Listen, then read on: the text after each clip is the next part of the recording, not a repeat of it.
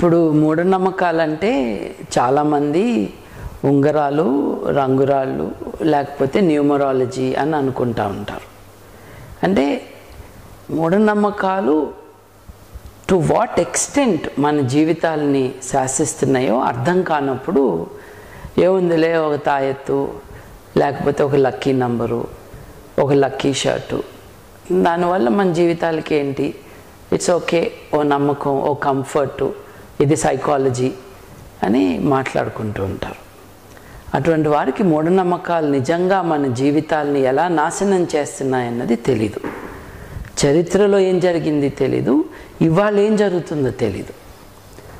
మీరు అంతర్జాతీయంగా గణాంకాలు చూసుకుంటే యునైటెడ్ నేషన్స్ యొక్క ఒక రిపోర్ట్లో పదుల లక్షల్లో వీళ్ళు మంత్రాలు వేస్తున్నారు వీళ్ళని చంపేయాలి అన్న నమ్మకం కారణంగా పదుల లక్షల్లో ప్రాణాలు కాపాడుకోవటానికి ఇల్లు వదిలేసి ఊళ్ళు వదిలేసి పారిపోయిన జనాలు ప్రపంచం అంతా ఉన్నారు. అది హైటీ కావచ్చు అది పాపువా న్యూగినీ కావచ్చు అది ఆఫ్రికా ఖండం కావచ్చు భారత ఉపఖండం కావచ్చు. అంటే మోస్ట్ డేంజరస్ సూపర్స్టిషన్స్ అన్నవి అక్కడ ఉన్నాయి ఉదాహరణకి ఇప్పుడు బొల్లి అంటాం మనం చేతి మీద కానీ ముఖం మీద కానీ శరీరంలో ఎక్కడైనా సరే చర్మం యొక్క రంగు పోయి అంటే మనకి చర్మానికి రంగు ఇచ్చే కణాలు ఏవైతే ఉంటాయో అవి లేని కారణంగా ఆ చర్మం అంతా కలర్లెస్ తెలుపు అలా ఉండటం జరుగుతుంది. ఈ విటిలిగో బొల్లి ఏదైతే అంటామో అటువంటివి ఉన్న ప్రజలు లేదు ఆల్బినో చిల్డ్రన్గా పుట్టినవారు. ఆల్బినో చిల్డ్రన్ అంటే బై బర్త్ అలా పుడతారు. నేను చెప్పిన బొల్లి అదేమో ఒక వయసులో వచ్చే చర్మానికి సంబంధించిన ఒక ప్రాబ్లం. ఈ ఆల్బినో చిల్డ్రన్ని ఆఫ్రికాలో వేటాడి వారి శరీర భాగాలని ఎండబెట్టుకుని మెడలో కట్టుకుంటారు. అది వారిని ఈవిల్ స్పిరిట్స్ నుంచి రక్షిస్తుందని. మనుషులని వేటాడి వారిని ప్రాణాలు తీసేసి వారి శరీర భాగాలని ఎండబెట్టుకుని మెడలో వేసుకుంటారు. ఆఫ్రికాలో అట్లాగే మీరు కాంగో రిపబ్లిక్ లాంటి దేశానికి వెళ్తే యాభై వేల మంది పిల్లలు అక్కడ నిర్వాసితులుగా స్ట్రీట్స్లో బతుకుతూ ఉన్నారు. ఆల్రెడీ ఆఫ్రికా ఖండంలో అందరికీ ఒక షెల్టర్ ఉండటం అన్నది మామూలు విషయం కాదు.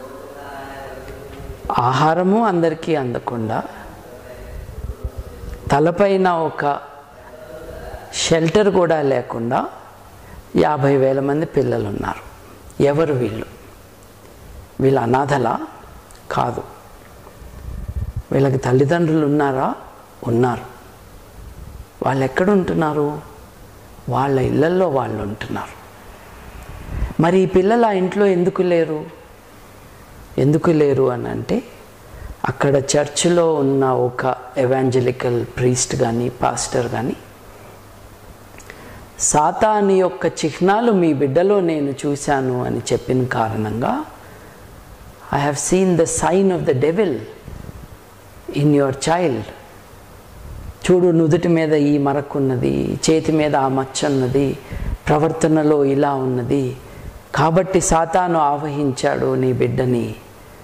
ఆ బిడ్డని నీ ఇంట్లో పెట్టుకుంటే నువ్వు వినాశనమే ఇంకేది ఎక్స్పెక్ట్ చేయకూడదు అని చెప్పిన కారణంగా యాభై వేల మంది పిల్లల్ని తమ తల్లిదండ్రులు ఇంటి బయటికి తరిమివేశారు ఘానా లాంటి దేశంలో ఎవరైతే మంత్రాలు వేస్తున్నారని వాళ్ళకి అనుమానం వస్తుందో అటువంటి వ్యక్తులని జైల్లో పెట్టి ఆ జైల్లో పెట్టిన వ్యక్తులకి విషం తాగిస్తారు కషాయంలాగా. ప్రభుత్వం చేయిస్తుంది. ప్రభుత్వం చేయిస్తుంది. ఆ విషపూరిత కషాయాన్ని వారికి తాగిస్తూ ఉంటే ఆ విషం కారణంగా వారికి ఉన్న ప్రత్యేక శక్తులు మాయమైపోతాయి అన్నది నమ్మకం. మూఢనమ్మకం మనుషుల్ని మనుషులుగా బతకనివ్వదు. కొంత కొంతమంది మనుషుల్ని అసలే బతకనివ్వదు. చరిత్ర అంతా కూడా ఇటువంటివే మనం వింటూ ఉంటాం. పాపా న్యూగినీలో కొన్ని వేల మంది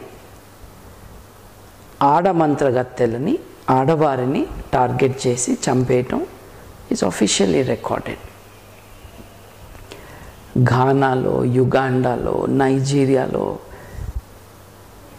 ఏ దేశంలో అయితే సైంటిఫిక్ ఎడ్యుకేషన్ లేదో ఆ దేశాల్లో బిలీఫ్ సిస్టమ్స్ అన్నవి అప్డేట్ కాని కారణంగా వాస్తవానికి సంబంధం లేకుండా ఉండటం భయంతో జోడించి ఉన్న నమ్మకాలు ఉండటం కారణంగా మనుషుల ప్రాణాలే పోయే పరిస్థితులు ఉన్నాయి వీటన్నిటికీ మన సమాజం అతీతమని మనం అనుకోకూడదు. లాస్ట్ ఇయర్ నేపాల్లో కురీతి అని అక్కడ ఒక ఉద్యమమే స్టార్ట్ అయింది. కురీతికి వ్యతిరేకంగా రీతి రివాజ్ అని అంటాము. దానికి నెగటివ్ టర్మ్ కురీతి. బ్యాడ్ ట్రెడిషన్స్ బహిష్టులో ఉన్న ఆడవారు ఇంట్లో ఉండటానికి వీల్లేదు. పశువుల చావిడిలో ఉండాలి. ఎస్ పశువుల చావిడిలో ఉండాలి ఆడవారు. ఇంటి బయట ఉండాలి మైల ఉంటుంది ఎవరు ముట్టుకోవటానికి వీల్లేదు. కాస్త తిండాల ముఖాన్ని కొడతారు. ఆ మూడు రోజులు నాలుగు రోజులు అక్కడే ఉండాలి. చలికాలంలో అలా బహిష్కరించబడిన యంగ్ విమెన్ కొంతమంది ప్రాణాలు కోల్పోయారు అక్కడ. బికాజ్ ఆఫ్ సూపర్స్టిషన్ చాలామంది చిన్నపిల్లల్ని కిడ్నాప్ చేస్తున్నారు. వారి శరీర భాగాల కోసం వారిని బలివ్వటం కోసం క్షుద్ర పూజల కోసం. మొన్న ఉప్పల్లో పసిబిడ్డ తల నరికి వేసింది అందుకే. ఈ గ్రోయింగ్ కెటాస్ట్రఫీ ఆఫ్ సూపర్స్టిషన్ ఏదైతే ఉందో దాన్ని మనం అడ్డుకోవాలి. చౌటుప్పల్ హైదరాబాద్ నుండి నల్గొండ వెళ్తుంటే హైదరాబాద్ నుండి విజయవాడ వెళ్తుంటే మెయిన్ హైవేకి పక్కన ఉండే ఊరు. ఆ గ్రామంలో ముప్పై ఏళ్ళు నలభై ఏళ్ళ క్రితము ఇద్దరు అప్పుడు ఇద్దరు యువకుల్ని వీళ్ళు మంత్రాలు చేస్తున్నారు వీళ్ళని ఏదైనా చేయాలి అని అన్నందుకు వాళ్ళు భయం వేసి పారిపోయారు. అరవై ఏళ్ళ చిల్లర వయసు వచ్చింది ముసలి వాళ్ళం అయిపోయాము. మనము పుట్టి పెరిగిన ఊరు మనం ఇప్పుడు ఒక్కసారి వెళ్ళి చూడాలి అని ఆ ఊరికి వెళ్తే ఆ ఇద్దరిని ఆ ముప్పై నలభై ఏళ్ళ తర్వాత చూసిన గ్రామస్తులు చెట్టు కట్టేసి కాల్చి చంపేశారు. మన జీవిత కాలంలో ఇటీవల కాలంలో జరుగుతున్న ఘోరాలు వంద సంవత్సరాల క్రితం ఐదు వందల సంవత్సరాల క్రితం కాదు. మహబూబ్ నగర్ డిస్ట్రిక్ట్లో నిరంజన్ అనే ఒక వృద్ధుణ్ణి రాళ్ళు పెట్టి కొట్టి చంపివేశారు. ఎందుకు చంపివేశారు అని అంటే ఆ గ్రామంలో ఎవరో మరణం జరిగింది. ఆ మరణానికి కారణం నిరంజన్ అనే ఆయన వేసే మంత్రాలు కాబట్టి అని. కెరోసిన్ తీసుకొచ్చారు. ఆయన దళితుడు. ఏ గుడిలో ఆయనకి ప్రవేశం లేదో ఆ గుడి బయట. ఏ పంచాయతీ ఆఫీస్ ఆయన రక్షించాలో ఆ ఆఫీస్ ఆవరణలో మీటింగ్ పెట్టుకుని ఆయన గుంజకి కట్టివేసి కొన్ని వందల మంది తలా ఒక రాయి వేసి కొట్టి చంపేశారు ఆయన్ని. ఈ చంపే ముందు రాళ్ళు ఏరుకునే ముందు కెరసిన్ ఆయిల్ తీసుకొచ్చారు. ఆ కెరోసిన్ డబ్బాలు తీసుకుని నిరంజన్ గారి పిల్లలు పారిపోయారు. అంటే తగలబెడతారేమో రక్షించాలి తండ్రిని అని. అంత చేస్తే రాళ్ళు పెట్టి కొట్టి చంపేశారు. తర్వాత మనిషి చచ్చిపోయాడో లేదో అని వెరిఫై చేసుకోవటానికి గొంతు మీద కాలు పెట్టి తొక్కి చూశారు. వోల్టేర్ గారు చెప్పాడు those who believe in absurdities will also commit atrocities అసంబద్ధమైన విషయాలని నమ్మేవారు ఆకృత్యాలకి పాల్పడతారు జాగ్రత్త అని వోల్టేర్ మహాశయుడు పదిహేడు వందల సంవత్సరాల్లో వార్నింగ్ ఇచ్చాడు. వోల్తేర్ గారి జీవిత కాలంలో షెవాలియే దలాబార్ అని ప్యారిస్ సమీపంలో ఉండే ఒక కులీన కుటుంబానికి చెందిన ఆయన వోల్తేరు పుస్తకాలు బాగా చదువుతున్నాడన్న నెపంతో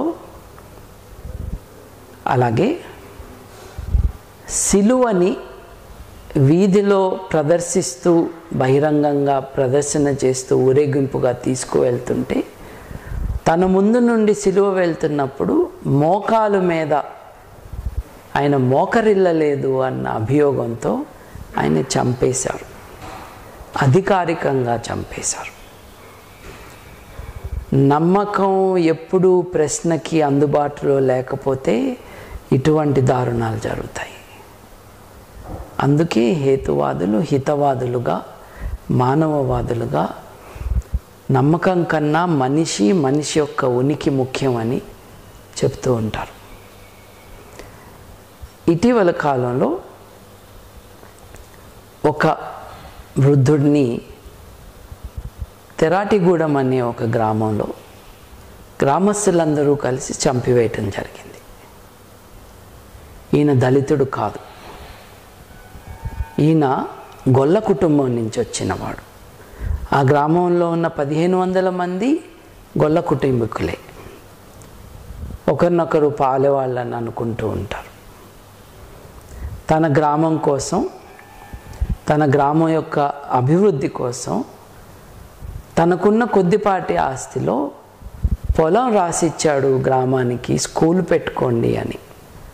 ఆ గ్రామంలో ఆరు గుళ్ళు ఉన్నాయి స్కూలు పెట్టుకోమనని. ఆయనకి చదవచ్చు. గ్రామంలో ఎవరైనా సంప్రదించాలి అని అంటే గైడెన్స్ కావాలి అని అంటే ఈయన దగ్గరకు వచ్చేవాళ్ళు చదవచ్చు కాబట్టి. ఇటువంటి వ్యక్తి మంత్రాలకి భయపడటం లేదు. దానికి కారణం ఈయననే మంత్రగాడు అని అభియోగం వేసి దాదాపు నాలుగు వందల మంది కలిసి ఆయన చంపేశారు. చంపిన రెండో రోజు అనుకుంటా మేము ఆ గ్రామానికి వెళ్ళాం. పోలీస్ ఫోర్స్ వచ్చింది. మేము వెళ్ళే ముందే అక్కడికి ఇన్స్పెక్టర్ గారు చేరుకున్నారు. సిఐ గారితో అన్నారంట మా ఆత్మరక్షణ కోసం మేము చంపాము. ఇంకా వాళ్ళ కుటుంబంలో ఇద్దరు ఉన్నారు వాళ్ళని కూడా చంపాలి మేము అని చెప్పా పోలీసులకి చెప్పారంట. అంటే ఒక దారం ఒక రంగు ఒక లక్కీ స్టోన్ ఒక నిమ్మకాయ ఒక చచ్చిపోయిన నల్లకోడి కాసిన మిరపకాయలు. ఇవి మనుషుల ప్రాణాలని సాటి మనిషి తీసేంత వరకు ఆ ఉన్మాదం దాకా తీసుకెళ్తాయని మనకు అర్థమవుతా ఉంది. గ్రామాల్లో దయ్యాలు భూతాలు ఆ దయ్యాలు వచ్చి మనల్ని అటాక్ చేస్తాయన్న భయంతో చాలామంది గ్రామస్తులు భయకంపితులై రాత్రులు సరిగ్గా నిద్రపోరు. ఇటీవల కాలంలో మేము నిర్మల్ జిల్లాలో కాశీగూడలో అంటే రాళ్ళు కొట్టి బతికే ముస్లింలని కాషోళ్ళు అంటారు. కాషోళ్ళందరూ కలిసి ఏర్పరచుకున్న గూడెంలో మగవాళ్ళందరూ ఊరిని వదిలేసి పారిపోయారు. దానికి కారణం ఆడదయ్యం లేదు దయ్యాలు. అక్కడున్న మగవాళ్ళ మీద దాడి చేసి వాళ్ళని చంపేస్తున్నాయి అని వాళ్ళ భయం. మేము వెళ్ళి ఆ గ్రామంలో అందరితో సైకియాట్రిస్టులతో కౌన్సిలింగ్ ఇప్పించి అప్పటిదాకా రాని ఎంఆర్ఓ గారిని అక్కడికి వచ్చేటట్టుగా ఆహ్వానం పంపి అప్పటిదాకా రాని సర్పంచ్ గారిని అక్కడికి పిలిచి జంతు బలి చేస్తే దయ్యాలు పోతాయని చెప్పిన ఉప సర్పంచ్ గారిని కూడా అక్కడికి పిలిచి సంజాయిషి అడిగి మూఢనమ్మకాలకి వ్యతిరేకంగా ప్రదర్శన చేసి దాదాపు ఇరవై మంది ఆ రోజు రాత్రి అర్ధరాత్రి పూట ఆ ఊరిలో ఉన్న శ్మశానంలో గడిపి మగవాళ్ళము మేమందరము ఈ ఊళ్ళో రాత్రి ఉన్నాము. ఇంతమంది వచ్చాము. రేపు మమ్మల్ని లెక్క పెట్టుకోండి. మేమందరం బతికున్నామా లేదా అని. అట్లా ఊళ్ళో గస్తీ తిరిగి పోలీసులను తీసుకొచ్చి వాళ్ళతో కెమెరాలు పెట్టి కొన్ని గంటల పాటు రికార్డింగ్ చేసి గ్రామస్తులకు చూపించి రాత్రంతా కెమెరాలు నడిచినాయి. ఎక్కడన్నా దయ్యం కనిపించిందా చెప్పండి. మేము శ్మశానంలో ఉన్నాము. అక్కడి నుంచి ఫేస్బుక్ లైవ్ చేశాము. పాములు ఉన్నాయి మండ్రగబ్బలు ఉన్నాయి విష పురుగులు చాలా ఉన్నాయి. వాటిని తప్పించుకుంటూ చేశాం మేము ఇవన్నీ. కానీ దయ్యం ఎక్కడుందో చూపించమని అడిగాం. నాలుగు వందల మంది పైచిలుకున్న గ్రామంలో మగవాళ్ళందరూ పారిపోయిన వాళ్ళు ఓ రెండు నెలల కాలంలో క్రమక్రమంగా నిజమే ఎవరికి ఏమీ కావట్లేదు అని ధైర్యం తెచ్చుకొని వెనక్కి వచ్చారు ఈ మధ్యనే మాకు మే నెల బిగినింగ్లో ఆ ఊరి నుంచి కమాల్ గారు ఉత్తరం రాశారు. మీరు వచ్చి మా ఊరు అందరినీ కూడా మళ్ళీ వాళ్ళ ఇళ్ళల్లో ఉండేటట్టుగా చేయగలిగారు. థ్యాంక్ యూ అని. మూఢనమ్మకాన్ని ఛాలెంజ్ చేయాలి. మూఢనమ్మకాలని స్ప్రెడ్ చేస్తున్న వాళ్ళని ఎక్స్పోజ్ చేయాలి. మూఢనమ్మకాల ఆధారంగా వ్యాపారాలు నిర్మించుకుంటున్న వారి వ్యాపారం ఎటువంటిదో అన్నది అందరికి అర్థమయ్యేటట్టు చేయాలి. భయంతో ఉన్న వారికి సైకియాట్రిస్టులతో వారి ఆందోళన పోయేటట్టుగా కౌన్సిలింగ్ ఇప్పించాలి. చచ్చిపోయిన కోడి కోసిన నిమ్మకాయ కాసిన మిరపకాయలు ఏవైతే మనం బిర్యానీలో వేసుకుంటామో అవి ఇంటి బయట కనిపించిన కారణంగా ఎవరో నేను చచ్చిపోవటానికి మంత్రం వేసి ఇది పెట్టారు అని చెప్పి ఇంకొక మనిషిని చంపే ఉన్మాదం వస్తున్నది భయం కారణంగా. ఇది ఒక ఊరు కథ కాదు చాలా ఊళ్ళల్లో జరుగుతూ ఉంది. ఊళ్ళకు ఊళ్ళు పూరిళ్ళు తగలబడిపోవటం కాంక్రీట్గా కట్టుకున్న ఇళ్ళల్లో మంటలు రావటం. ఈ మంటలు వచ్చినాయి కాబట్టి మీ ఊళ్ళో ఇప్పుడు గుడి కట్టాలని ఒక అపరిచితుడు రావటం. జాగ్రత్తగా చూస్తే ఆరాలు తీస్తే గుడి కట్టాలి అని చెప్పిన వ్యక్తి చేసిన మిస్చిఫ్ ఇది. తడి భాస్వరం పచ్చ భాస్వరం మనం దేన్నైతే ఫాస్ఫరస్ అంటామో తడిగా ఉన్న ఈ పచ్చభాస్వరాన్ని తీసుకొచ్చి చూరు కింద పెట్టడమో ఆరబెట్టిన దుప్పటి కింద పెట్టడమో లేకపోతే పేడలో వేయటము. మీరు పెట్టేసి వెళ్ళిపోతారు. ఆ పేడ ఎండటానికి ఒక రోజు రెండు రోజులు పడుతుంది. ఆరుతున్న దుప్పటి ఎండటానికి కొన్ని గంటలు పడుతుంది. పెట్టినవాడు వెళ్ళిపోతాడు. ఉన్నట్టుండి ఎండిపోయిన పచ్చభాస్వరం మంటలు అంటుకోవటం అన్నది దాని కెమికల్ స్వభావం. అలా మంటలు అంటుకొని ఇల్లు తగలబట్టం ఊళ్ళు ఖాళీ అవ్వటం